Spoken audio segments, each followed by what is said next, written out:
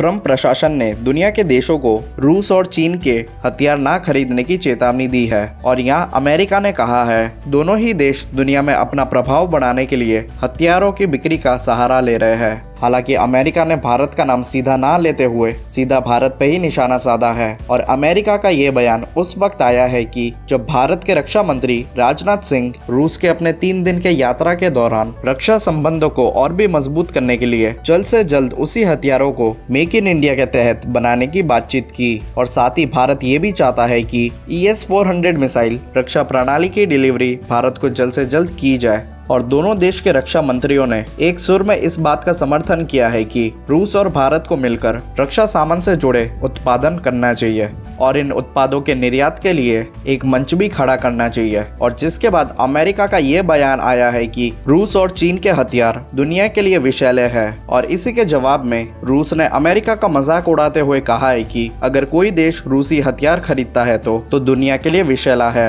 लेकिन वही हथियार अगर कोई अमेरिका से खरीदे तो वो विषैला हथियार नहीं, बल्कि अमेरिका की दोस्ती खरीद रहा है। यानी कि अमेरिका से हथियार खरीदने पर अमेरिका की दोस्ती मुफ़्त में मिलती है। और रूस ने आगे कहा है कि अगर कोई देश रूस के बजाय अमेरिका से गैस खरीदता है तो तो वो गैस नहीं बल्कि स्वतंत्रता के आड़ू खरीद रहा है। और रूस ने डोटुक जवाब देते हुए कहा है कि अब समय बदल चुका है। हथियारों के क्षेत्र में अमेरिका का एक अधिकार नहीं हो सकता। और अमेरिका के लाख कोशिशों के बावजूद भारत को रूस से दूर करने में नाकाम रहा है। और रक्षा मंत्री राजनाथ सिंह के सामने रूस ने यह स्पष्ट किया है कि दुनिया के देशों से अमेरिकी प्रतिबंध का डर निकल चुका है। और अब दुनिया अमेरिका और यूरोप की तरफ़ नहीं, बल्कि हमारी तरफ़ देख रही है, क्योंकि रूस और भारत ने क्षेत्रीय समझौते और आपसी विश्वास के दम पर अमेरिकी प्रतिबंध को झूठा साबित कर दिया है। अगर आपको ये वीडियो पसंद आई हो तो इसे लाइक शेयर सब्सक्राइब ज़रूर करें। और आगे ऐसे ही खास खबर देखने के लिए मेरे साथ बने रहे। जय हिंद, जय भारत।